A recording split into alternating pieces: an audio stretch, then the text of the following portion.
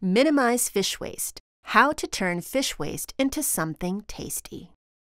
Did you know that the average utilization rate of fish is less than 50%?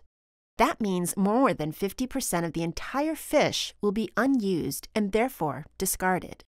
However, Japanese cuisine has a long history of appreciating the blessings from Mother Nature through maximizing the utilization of fish thus turning the parts that are usually thrown away into something tasty and enjoyable.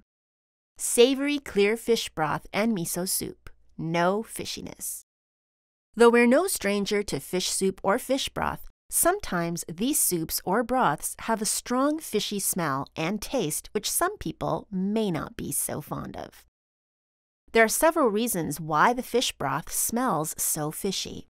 By learning how to avoid these mistakes, you can get savory fish broth that is rich in umami with no fishy taste using the parts of the fish that you usually would throw away. Dissection and cleaning. This is one of the key elements to avoid the fishy taste and odor in the fish broth.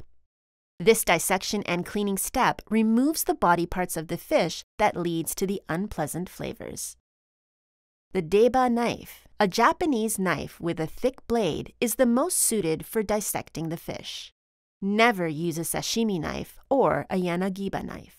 These knives have a thin, delicate blade, so the blade could easily get chipped.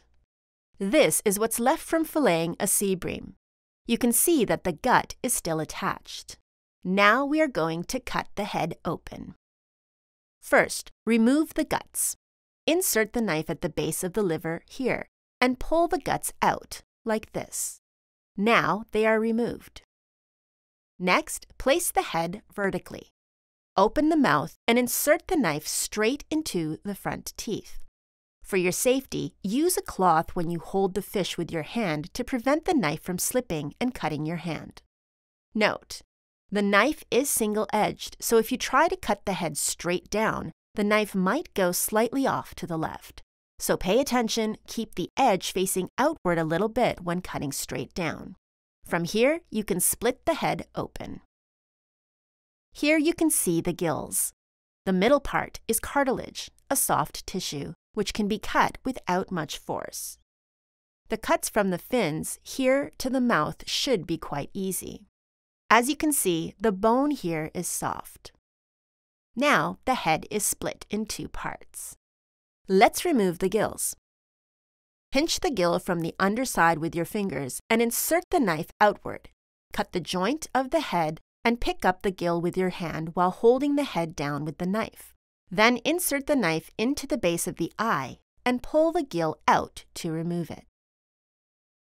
The gills are now removed. This is the process called nashi wari, cutting the head vertically in half. The gills have been removed and the fish has been lightly rinsed under running water. You can use these half-cut fish head for kamayaki, grilled fish cheek,